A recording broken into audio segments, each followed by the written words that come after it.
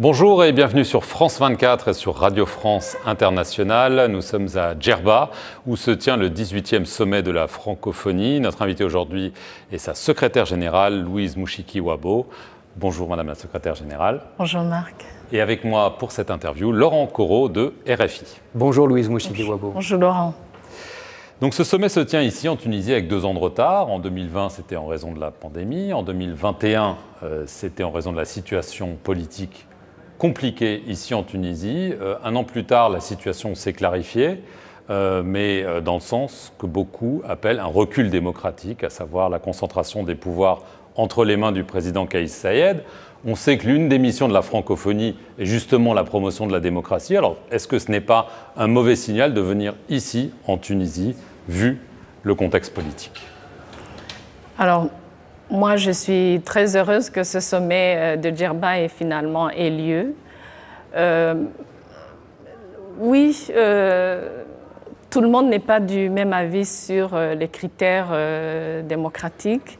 Et c'est vrai, on doit être honnête aussi que les changements politiques en Tunisie ont été profonds mais euh, en même temps, euh, nous avons aujourd'hui plusieurs pays euh, de l'espace francophone et, ailleurs où on ne peut pas vraiment mesurer la, la, vie démocratique.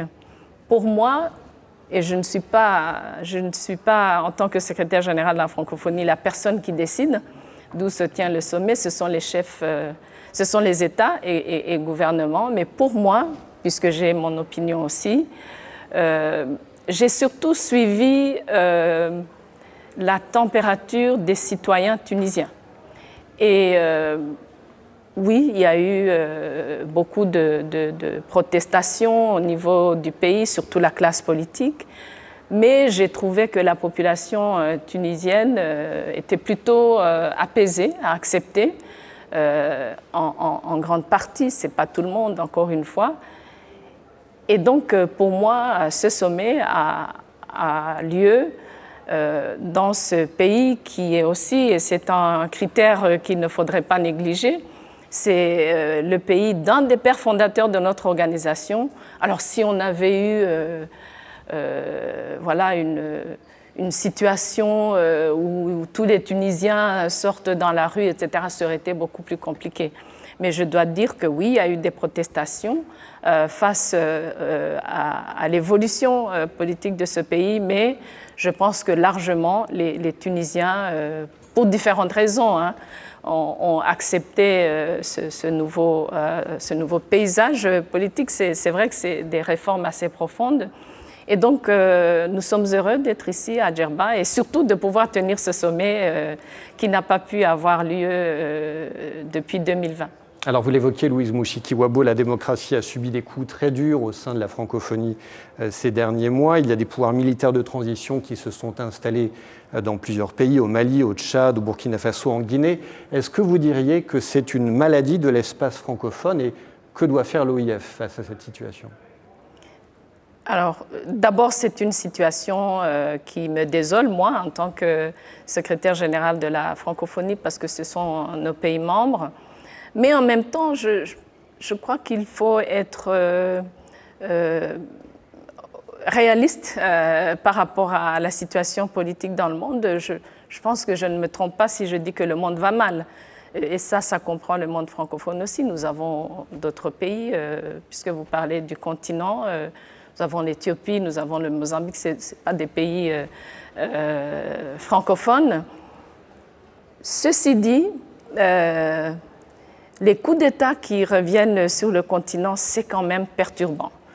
ça, je dois dire, le passage de la gestion d'un pays de civils aux militaires et de, de militaires à d'autres militaires, ça devient un peu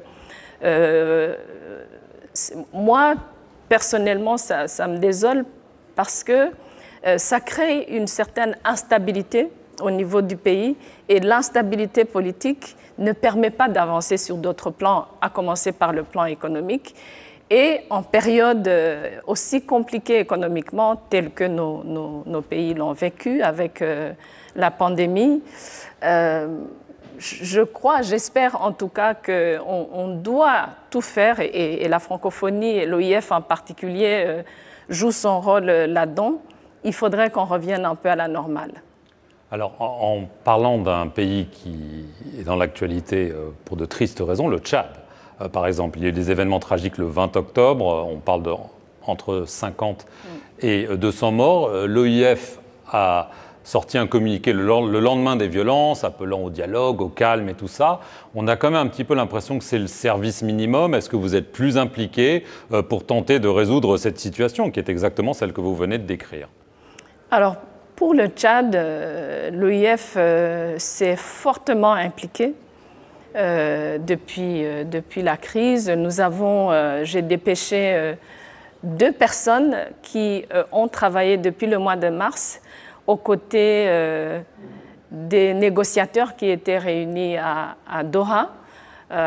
nous avons servi d'intermédiaire même plusieurs fois entre différents groupes pour essayer d'arriver à un minimum de, consensus, pour ramener certaines personnalités euh, politico-militaire à la table des négociations.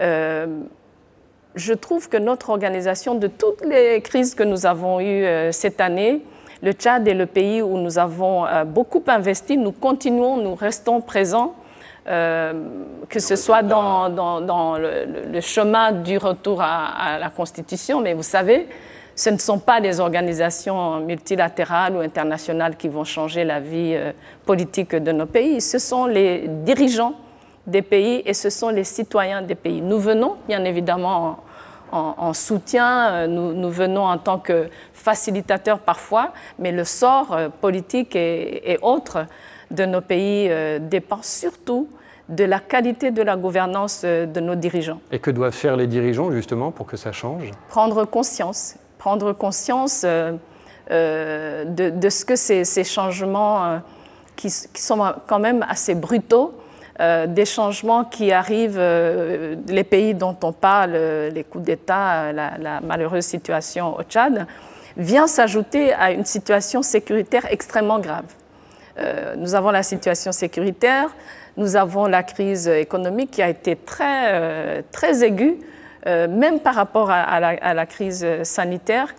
Et donc, la nature même d'un dirigeant, euh, c'est de prendre conscience de l'importance de son action à la tête du pays, de pouvoir euh, bien coordonner les équipes politiques surtout, et, et, et ce sera le sujet du huis clos politique de ce sommet, il y a une défiance citoyenne euh, dans le monde francophone et dans le monde en général.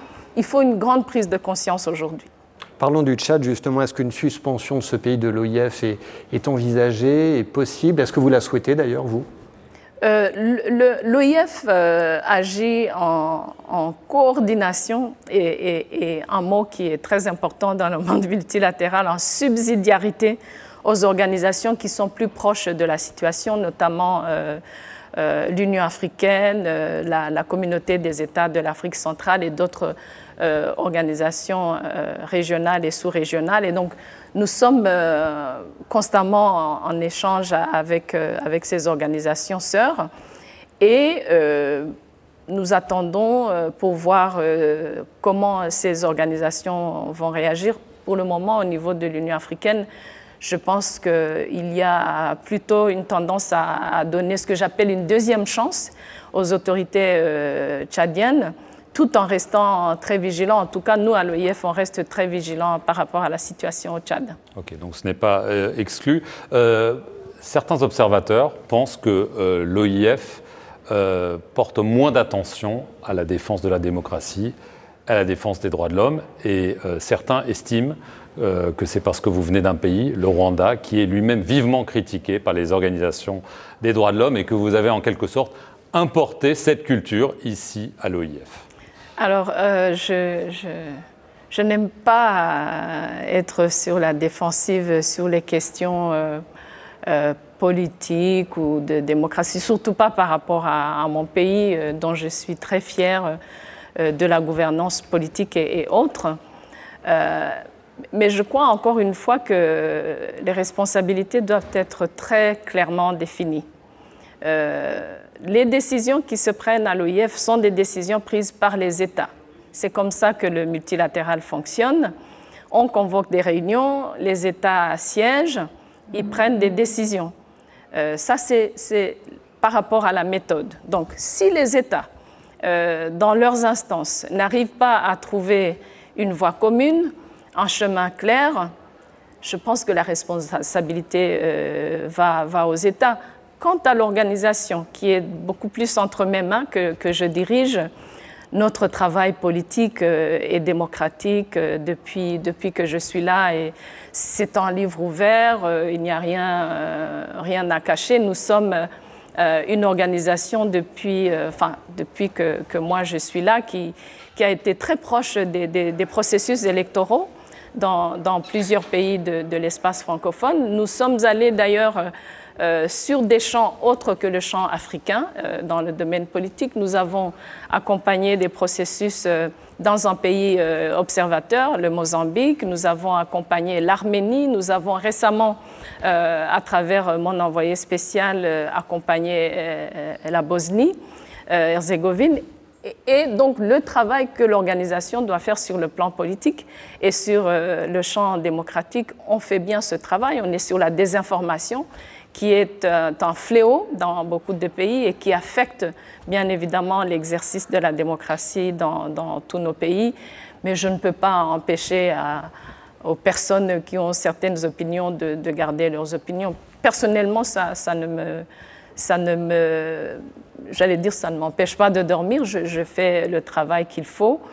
Et euh, sur le terrain, euh, dans tous ces pays-là, dans les réunions, euh, les organisations sœurs qui travaillent euh, avec nous. Euh, le travail politique de l'OIF en faveur de la démocratie ne s'est jamais arrêté. Nous avons, et moi personnellement, fait un, plaidoyer très fort sur la question de la peine de mort avec deux pays aujourd'hui qui ont aboli depuis que je suis à la tête de l'organisation, avec des moratoires sur la peine de mort, sur les mariages précoces, sur la, participation des femmes dans, l'exercice de la politique de leur pays. Et donc, euh, les critiques sont, là pour nous aider à nous améliorer, mais personnellement, je pense que euh, moi-même, euh, à la tête de l'organisation, sur les questions démocratiques, je pense que pour ceux qui sont honnêtes, il y a quand même un très bon bilan. Merci Madame la Secrétaire Générale d'avoir répondu à nos questions et merci à vous tous de nous avoir suivis sur nos deux chaînes, RFI et France 24.